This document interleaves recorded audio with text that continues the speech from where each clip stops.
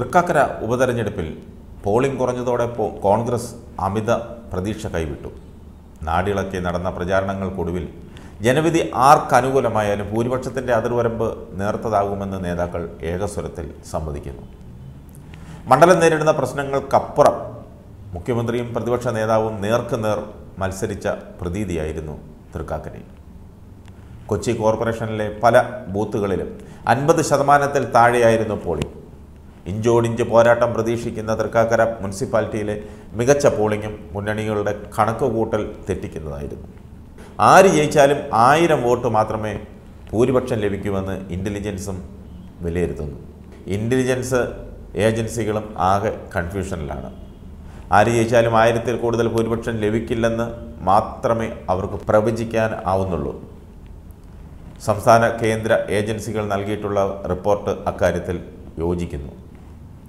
മുസ്ലിം വോട്ടിലാണ് ഇടതുമുന്നണിയുടെ പ്രതീക്ഷ. ഒപ്പം ക്രിസ്ത്യൻ ഇതര വിഭാഗങ്ങളുടെയും വോട്ടുകൾ അവർ പ്രതീക്ഷിക്കുന്നുണ്ട്. യു ഡി എഫിന് ഹിന്ദു ക്രിസ്ത്യൻ വിഭാഗങ്ങളുടെ പിന്തുണ ലഭിച്ചെന്നും ബി ജെ പി സ്ഥാനാർത്ഥിക്ക് കഴിഞ്ഞ തവണത്തെ വോട്ട് ലഭിക്കില്ലെന്നുമാണ് ഇന്റലിജൻസ് വിലയിരുത്തൽ. സിറ്റിംഗ് സീറ്റ് എന്ന സ്വാഭാവിക മേൽക്കൈ അനുകൂലമാകുമെന്നാണ് യു ഡി എഫിന്റെ ആദ്യ വിലയിരുത്തൽ വന്നത്. അന്തരിച്ച പി ടി തോമസിന്റെ സ്മരണയും പത്നി ഉമാ തോമസിന്റെ സ്ഥാനാർത്ഥിത്വത്തോട് സ്ത്രീ വോട്ടർമാരുടെ ആഭിമുഖ്യവും പ്രതീക്ഷ അവർക്ക് നൽകിയിരുന്നു. തപാൽ വോട്ടുകളുടെ കുറവും വലിയ വിഭാഗം വോട്ടർമാർ സ്ഥലത്തില്ലാതിരുന്നതും പോളിംഗ് കുറയാൻ കാരണമായി. തൃക്കാക്കര മുനിസിപ്പാലിറ്റിയിലെ എല്ലാ ബൂത്തിലും എഴുപത് ശതമാനത്തോളം പോളിംഗ് നടന്നതാണ് യു ഡി എഫിന്റെ ആത്മവിശ്വാസത്തിന് അല്പമെങ്കിലും അടിസ്ഥാനം. ആകെ പോളിംഗിൽ രണ്ടായിരത്തോളം വോട്ടുകൾ അധികമായി ചെയ്തു. അത് ശരിയാണ്. അത് സ്ത്രീ വോട്ടർമാരുടേതാണ്. ഇടത് സ്ഥാനാർത്ഥി നിർണയത്തിലെ വിവാദവും സിൽവർ ലൈൻ ഉൾപ്പെടെയുള്ള കാര്യങ്ങളിൽ മുഖ്യമന്ത്രിയുടെ കടുത്ത നിലപാടുകളും വോട്ടർമാരെ തങ്ങൾക്ക് അനുകൂലമാക്കുമെന്ന കണക്കൂട്ടലിലാണ് കോൺഗ്രസ് ക്യാമ്പ് വിലയിരുത്തുന്നത്. തൃക്കാക്കര ഈസ്റ്റിൽ ട്വന്റി ട്വന്റി കഴിഞ്ഞ തവണ കരുത്ത് കാട്ടിയിരുന്നു.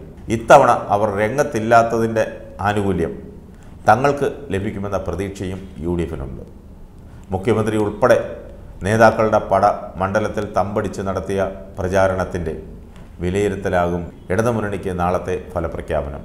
നിയമസഭയിൽ സെഞ്ചുറി തികയ്ക്കുമെന്ന് തന്നെയാണ് ആദ്യഘട്ടം മുതലുള്ള ഇടതുമുന്നണിയുടെ അവകാശവാദം. ട്വന്റി ട്വന്റിയുടെ വോട്ടുകളിൽ അറുപത് ശതമാനത്തിലും യു ഡി എഫിന് ലഭിക്കുമെന്ന് ഇടത് ക്യാമ്പ് തന്നെ കണക്കുകൂട്ടുന്നുണ്ട്. എന്നാൽ മന്ത്രിമാർ ഉൾപ്പെടെയുള്ളവർ വീട് വീടാന്തരം നടത്തിയ പ്രചാരണത്തിലാണ് അവരുടെ പ്രതീക്ഷ. ബി ജെ പി വോട്ടിൽ ഒരു പങ്ക് ഉമാ തോമസിന് ലഭിച്ചേക്കുമെന്ന ആശങ്കയും ഇടത് ക്യാമ്പിലുണ്ട്. രണ്ടായിരത്തി ഇരുപത്തൊന്ന് നിയമസഭാ തെരഞ്ഞെടുപ്പിലെ കനത്ത തോൽവിക്ക് ശേഷം കോൺഗ്രസിനും യു ഡി എഫിനും എത്രത്തോളം മാറ്റമുണ്ടായെന്ന വിലയിരുത്തൽ കൂടിയാവും. തൃക്കാക്കരയുടെ നാളെ പുറത്തു വരുന്ന ഫലം. പുതിയ പ്രതിപക്ഷ നേതാവിന്റെയും കെ പി സി സി അധ്യക്ഷന്റെയും നേതൃത്വം വിലയിരുത്തപ്പെടുന്ന ആദ്യ അവസരമാകുമത്. പ്രതിപക്ഷ നേതാവ് വി ഡി സതീശനാണ് തെരഞ്ഞെടുപ്പ് പ്രചാരണം മുന്നിൽ നിന്ന് ഏകോപിപ്പിച്ചത്. മുഖ്യമന്ത്രിക്കെതിരായ വിവാദ പ്രസ്താവനയോടെ കെ പി സി സി അധ്യക്ഷൻ കെ സുധാകരൻ ചിത്രത്തിലേ ഇല്ലാതായി. അദ്ദേഹം കളം വിട്ടോടി. തെരഞ്ഞെടുപ്പിൽ തിരിച്ചടി ഉണ്ടായാൽ കോൺഗ്രസിനുള്ളിൽ പൊട്ടിത്തെറിക്ക് ഇടയാക്കുമെന്നുള്ളത് ഒരു സംശയമില്ല യു ഡി എഫ് സംവിധാനം തന്നെ ആടിയുലയും. തെരഞ്ഞെടുപ്പ് ഫലം സർക്കാരിനെ ഒരു തരത്തിലും ബാധിക്കില്ലെങ്കിലും ഇടതു മുന്നണിക്ക് നിർണായകമാണ്. തുടർഭരണം നേടിയ ശേഷം നടക്കുന്ന ആദ്യത്തെ ഉപതെരഞ്ഞെടുപ്പെന്ന പ്രാധാന്യവുമുണ്ട്. യു ഡി എഫിന്റെ ഉറച്ച കോട്ട പിടിച്ചെടുക്കുക എന്ന ഒറ്റ ലക്ഷ്യത്തോടെയാണ് തൃക്കാക്കരയിൽ ഇടതുമുന്നണി തെരഞ്ഞെടുപ്പിനെ വളരെ ശക്തിയായി നേരിട്ടത്. പരാജയപ്പെട്ടാൽ സർക്കാരിന്റെ പ്രവർത്തനം പ്രതികൂട്ടിലാകും പ്രത്യേകിച്ച് സിൽവർ ലൈനിന്റെ കാര്യത്തിൽ അത് ചർച്ച ചെയ്യും. തൃക്കാക്കര ഉപതെരഞ്ഞെടുപ്പ് പ്രഖ്യാപിച്ചപ്പോൾ തന്നെ സിൽവർ ലൈനും വികസനവും പ്രധാന വിഷയമായി സി പി എം അംഗീകരിച്ചിരുന്നു. പോളിംഗ് ശതമാനത്തിലുണ്ടായ കുറവ് സി പി എമ്മിന് പ്രതീക്ഷയേകുന്നു.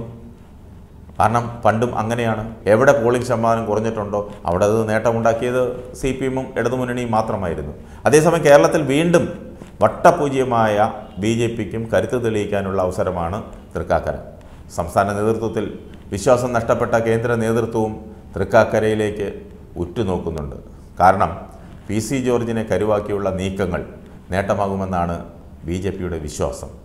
വിജയം പ്രതീക്ഷിക്കുന്നില്ലെങ്കിലും കഴിഞ്ഞ തവണത്തേക്കാൾ വോട്ട് ശതമാനം വർദ്ധിപ്പിക്കാനായില്ലെങ്കിൽ സംസ്ഥാന നേതൃത്വത്തിൽ പല തലകളും ഉരുണ്ടേക്കാം. കേരളത്തിലെ നേതാക്കളിലുള്ള വിശ്വാസം ദേശീയ നേതൃത്വത്തിന് പൂർണമായി നഷ്ടപ്പെട്ടതിന് തെളിവാണ്. ഇപ്പോൾ ഒഴിവ് വന്ന രാജ്യസഭാ സീറ്റുകളിൽ കേരളത്തിൽ നിന്ന് ആരെയും പരിഗണിക്കാഞ്ഞത്.